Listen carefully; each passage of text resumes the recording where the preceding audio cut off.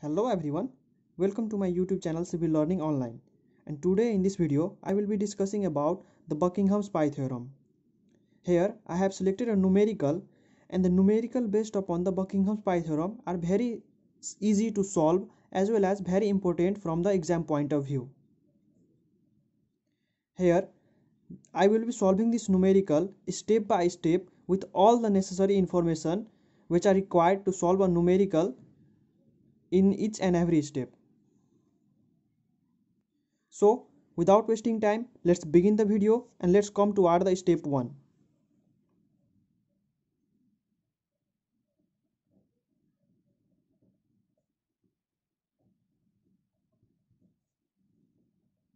And in, in step 1 we will be writing all the variables which we are given in the question with their respective dimensional value so let's write it down. And we all know that the unit of force is kg meter per second square. And we have three fundamental dimensional units. That is kg is derived denoted by m for mass. And length is denoted by l. And time is denoted by time is denoted by t. So here we will have kg means m and meter means length. And for time we will have t to the power minus 2 and this was the first variable as per the question. And the second variable is speed.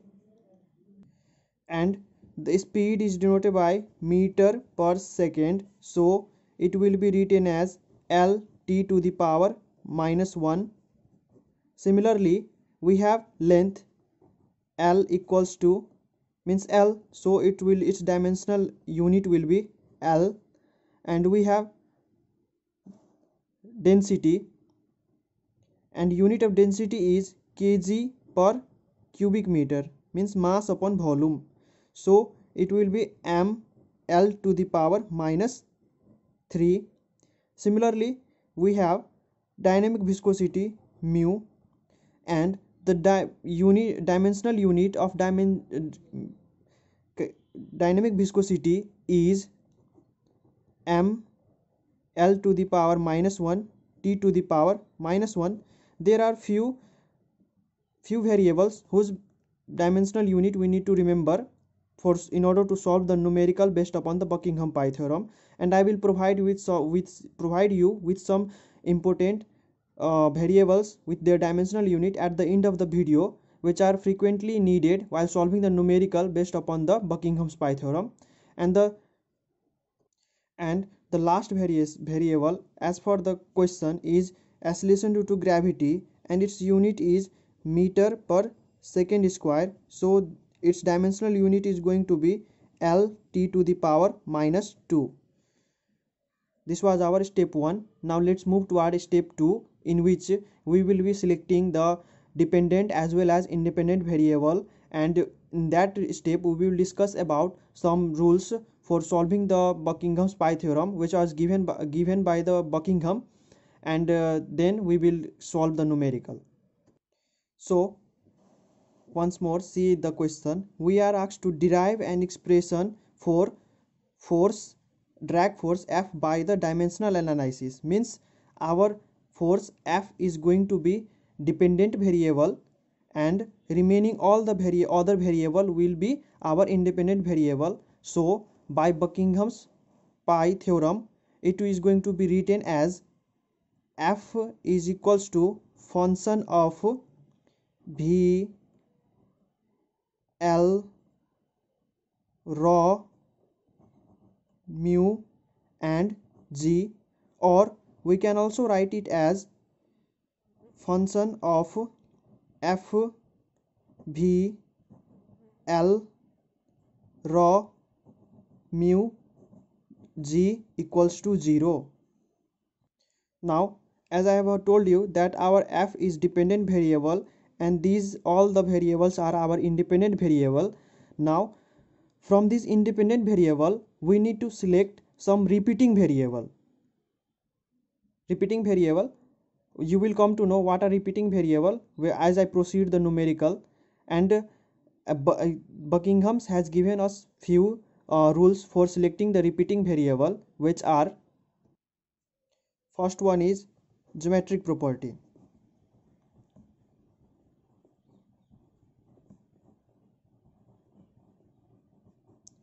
Or we can also say that it is our dimensional property means dimension like length breadth height depth or diameter. And in each and every question we will have to select three repeating variable. First will based upon the geometric property or dimension mainly dimension length breadth height depth and diameter. And the second will be our flow property. Flow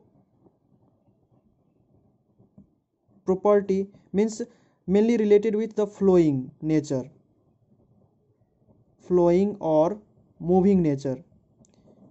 Then it can be velocity or acceleration. Similarly the third repeating variable will be our uh, based upon the fluid property. Fluid property. And the fluid property mainly denotes is denoted by uh, dynamic viscosity density likewise or nu means kinematic viscosity. Okay? So now let's count the number total number of variable. We have total number of variable as 1 2 3 4 5 6 so our total number of variable let it denote by n is equal to 6 and the number of repeating variable in each every each and every question is taken as 3 which are based upon the geometric property flow property and fluid property. So from so on subtracting n minus m we will have 3 so on writing now after getting n n minus m is equal to 3 it means our our function in term of buckingham pi theorem will be written as up to pi 1 pi 2 pi 3 equals to 0 if it were here 4 then it will be up to pi 4 so here the variable this is dependent variable so leave this. Now let's check for the uh, dimensional unit. Sorry dimensional property. And here the dimensional property is only one that is length. So this is going to be our first repeating variable. Again let's check for the flow, proper, flow property. And the flow property means velocity and acceleration and this is our velocity. So this is going to be our uh, we, and flow property is velocity and acceleration. So uh, among v and g select v if you are given v and g then select v as the repeating variable. This is going to be our trick. So this is our second second repeating uh, proper so second uh, flow property. Now let's select the fluid property. We have density and mu. Whenever you are given with density and mu select density as repeating variable. So this is going to be our third repeating variable. We have selected one two three repeating variable and i am going to provide you some more trick to select the repeating variable. Like when you are giving uh, height and diameter then select height as repeating variable. Listen students i would like to tell you one thing. The answer of uh, the numerical based upon the buckingham's pi theorem may vary from student to student. It depends upon what you take as the repeating variable. Um, likewise in the same question we had two repeating variable based upon the fluid property. So some student might have taken mu as the fluid property and some may take in rho as the fluid property and this makes variation in the answer of the Buckingham's pi theorem. So do not get confused and use when you do more practice then you will come to know about this trick of selecting the repeating variable and you, you will have the exact answer which is uh, which will vary which which will be preferred we must and uh, let's move toward the next step now. In the step 2 i had written a function like f1 f1 is dependent on pi 1 pi 2 pi 3 equals to 0 so let's write down pi 1 equals to our first repeating variable is L to the power A1 and the second variable is V to the power B1 and the third is rho to the power C1 and we are asked to find the function dimensional analysis for the force F. So our first dependent variable will be written with the pi 1 so this will be written as uh, L to the power A1 V to the power B1 rho to the power C1 and F. Similarly our pi 2 will be L to the power A2 V to the power B2 rho to the power C2 and the remaining one is mu so write it down here. Similarly our pi 3 will be L to the power A3 b to the power B3 rho to the power C3 and the remaining is G so write it down here. Now suppose this is our equation 1 this is our equation 2 and this is our equation 3 now in step 4 let's solve each and every equation. Here I have copied the equation 1 and now write it with all the dimensional units which I have given you in the equation 1 and this is our pi 1 and the dimension of pi 1 is written as m to the power 0 l to the power 0 t to the power 0 in each and every step. Similarly l will be written as l to the power a1 similarly b to the b will be written as l t to the power minus 1 to the power b1 rho to the will be written as m l to the power minus 3 to the power c1 and f will be written as m l t to the power minus 2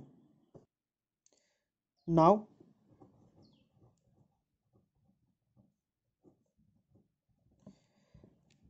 add the power of all the all the terms having the common similar base. That is we have first m and the power of m here is going to be c1 and here is 1 so it will be written as m to the power c1 plus 1 similarly l will be written as from here a1 from here here plus b1 again minus 3 c1 similarly plus 1 from here this is the law of indices means uh, here the base are same means power are added here.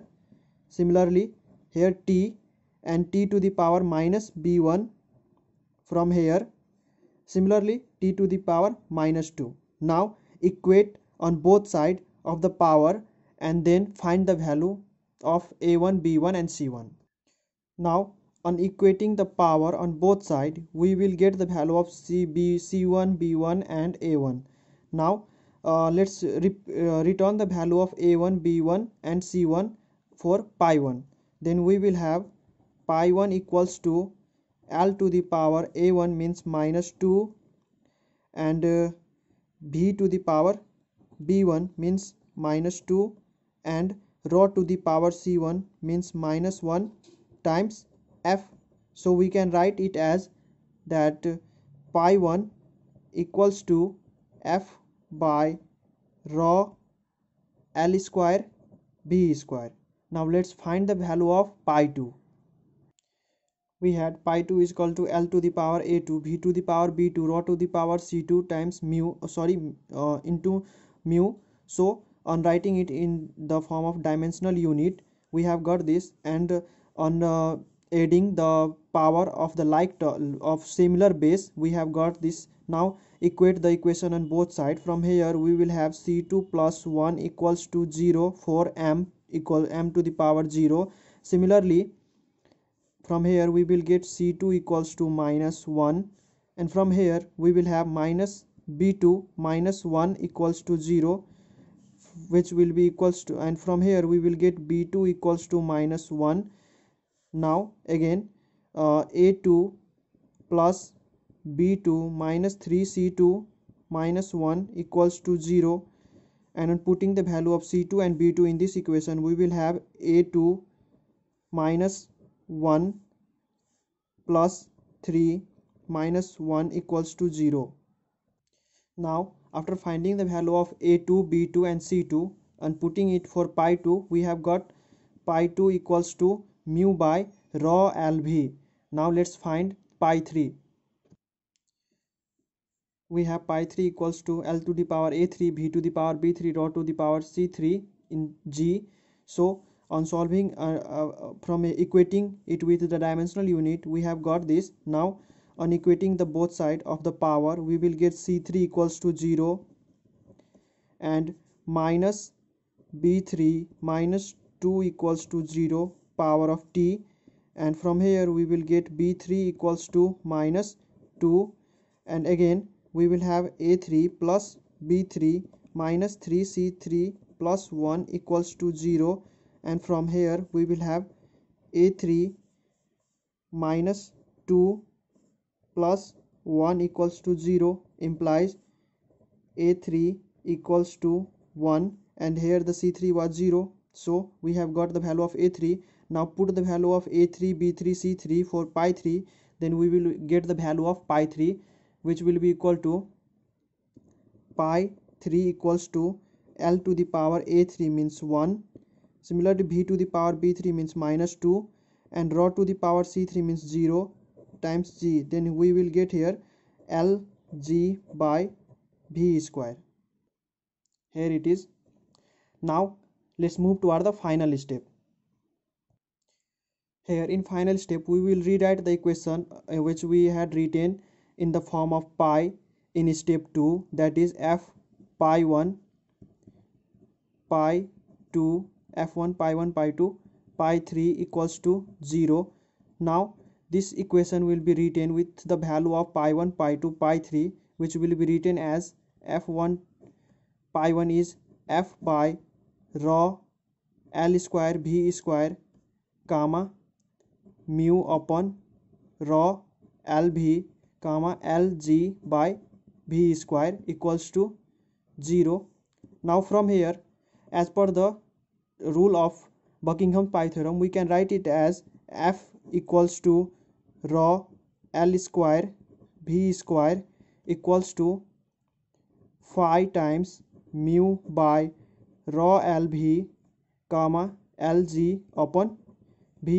square or we can write it as f equals to rho l square b square. We have we are going to brought this here times phi mu by rho l v comma lg by v square. And this is our final answer.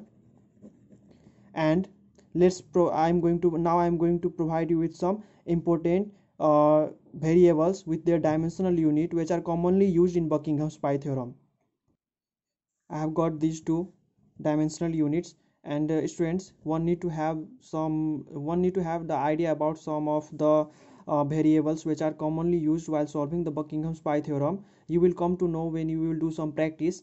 And I hope this video was helpful to all of you guys. And uh, if you want more videos related to civil engineering then do subscribe to my channel. And do like and share this video. Uh, see you in the next video. Thank thank you. Have a nice day